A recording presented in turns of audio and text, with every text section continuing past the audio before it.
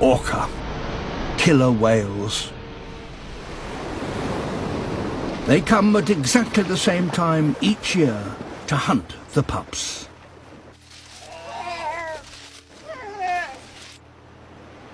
It's a narrow window of opportunity, and the odds are stacked against the hunters.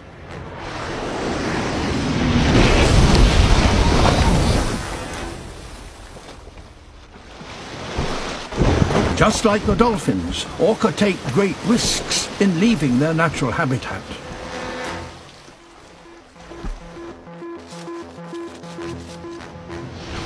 With every attack, there's a real danger of being stranded.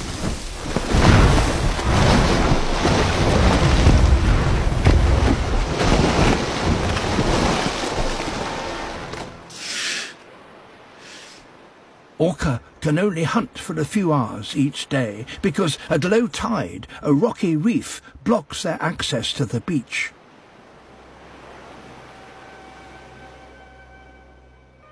So, until the tide is high, the pups are safe. Early in the season, the orca have one big advantage.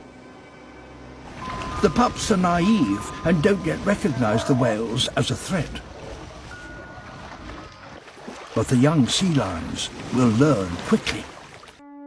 Silently, the killer whales move into position.